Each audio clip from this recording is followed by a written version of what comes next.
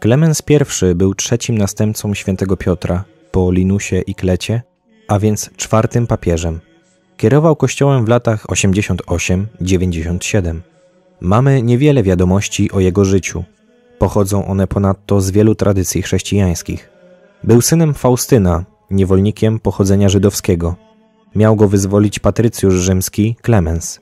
Przyszły papież z wdzięczności przybrał sobie jego imię. Według Tertuliana miał być ochrzczony i otrzymać święcenia kapłańskie z rąk Piotra Apostoła.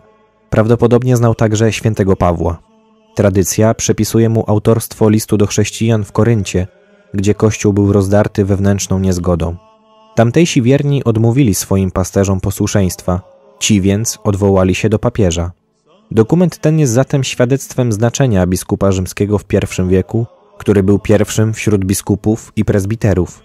List wyróżnia się pięknym stylem i jest bezcennym dokumentem jako jeden z najstarszych pomników literatury chrześcijańskiej po apostolskiej.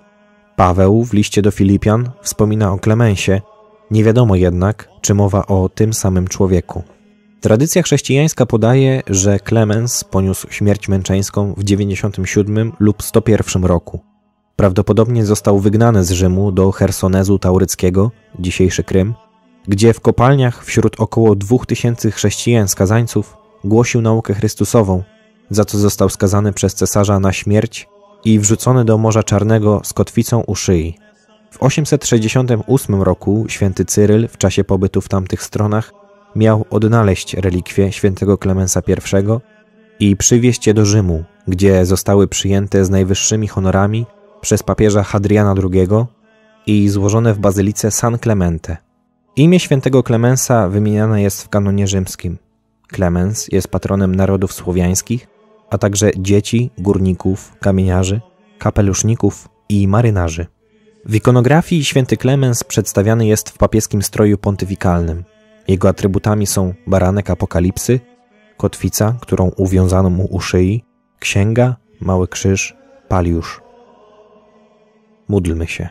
Wszechmogący wieczny Boże, Ty jesteś mocą wszystkich świętych.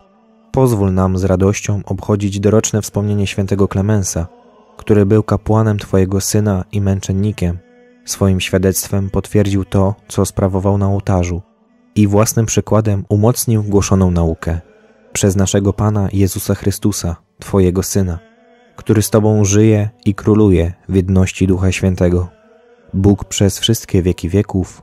Amen.